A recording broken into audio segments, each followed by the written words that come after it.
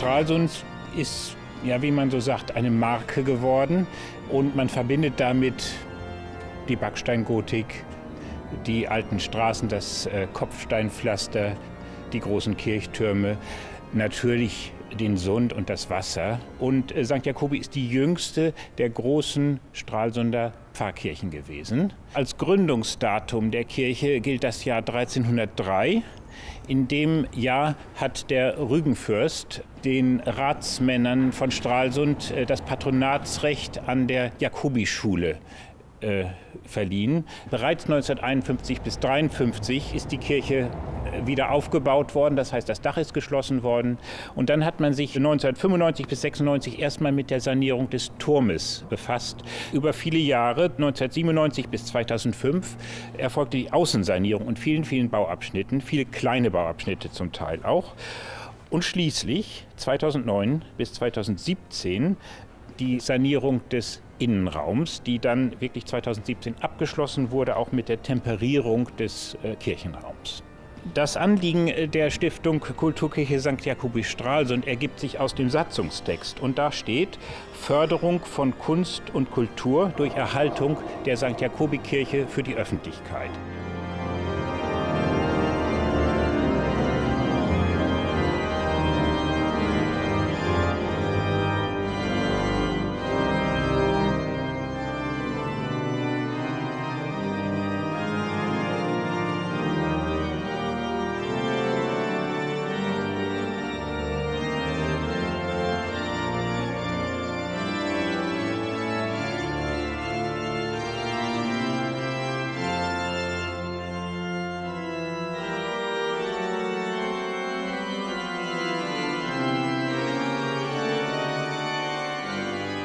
Mit der Vollendung und Einweihung der neuen Wegscheiderorgel hier in der Kulturkirche St. Jakobi in Stralsund ist in unserer Stadt eine ganz besondere und gewissermaßen einzigartige Orgelsituation entstanden.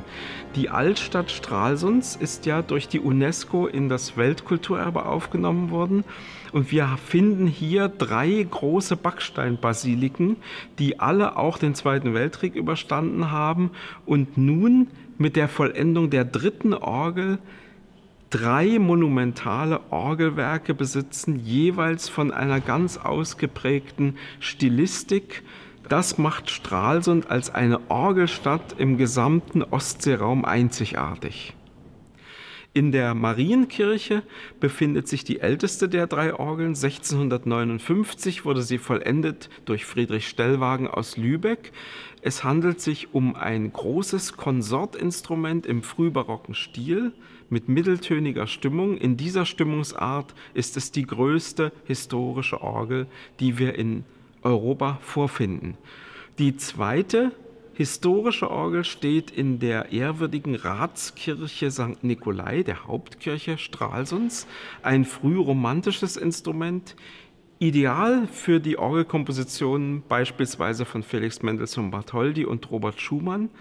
1841 wurde diese Orgel durch Karl August Buchholz aus Berlin vollendet und sie ist die größte historische Orgel in Deutschland aus der gesamten ersten Hälfte des 19. Jahrhunderts.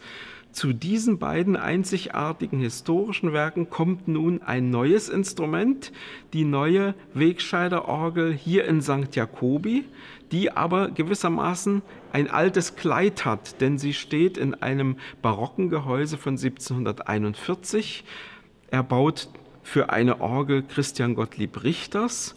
Und dieses Instrument vertritt nun auch wie die Optik es schon eigentlich nahelegt, den Klangstil des 18. Jahrhunderts. Die Firma Wegscheider hat diese Orgel in enger Anlehnung an den Stil Gottfried Silbermanns und Joachim Wagners gebaut, so dass wir mit diesem Instrument hier im Bundesland zum ersten Mal eine große Bachorgel haben.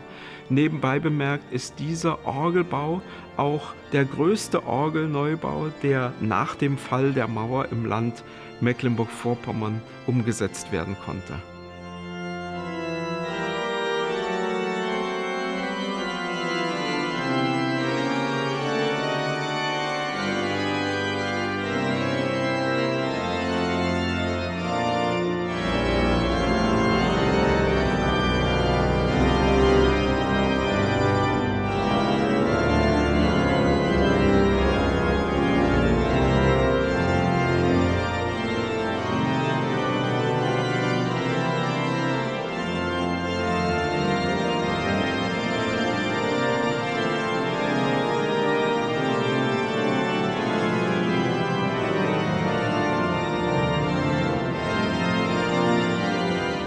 Vor drei Jahren haben wir hier begonnen, diese Orgel zu untersuchen. Nachdem wir den Auftrag bekommen haben, haben die Orgel natürlich dann erstmal entkernt, haben sie ausgemessen, haben die statischen Probleme gesehen, haben das gerichtet, haben auch gefunden, dass ein Stück Orgelbaugeschichte noch des Ende 16., frühen 17. Jahrhunderts in der Orgel vorhanden war, haben das dann rekonstruiert, haben das ganze erste Jahr gezeichnet. Und die nächsten zwei Jahre haben wir dann die Teile gebaut. Wir haben einige Teile der ursprünglichen Orgel von äh, Richter haben wir wiederverwendet, die Windladen. Einige Teile von Marx aus der zweiten Hälfte des 18. Jahrhunderts haben wir wiederverwendet. Einige Trakturteile, also Übertragungsteile und haben dann die Pfeife in Dresden gebaut. Und das Ziel war, an dieser Orgel etwas zu schaffen, was im 18. Jahrhundert sich Bach gewünscht hätte. Bach in Leipzig ist ja rumgereist nach Norddeutschland, in Thüringen, er war in Brandenburg.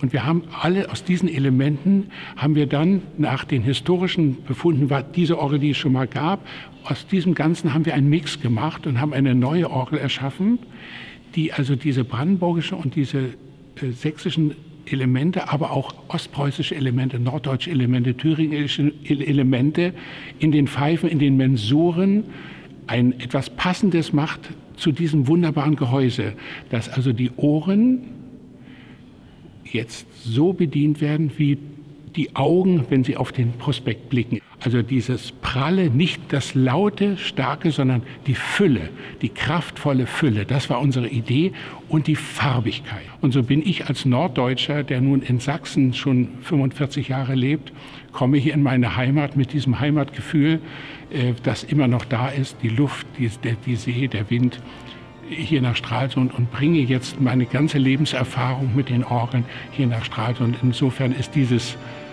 Werk, also eine Herzensangelegenheit und es ist vielleicht, so geht es auch meinen Kollegen, die schönste Orgel, die wir bisher überhaupt neu gebaut haben.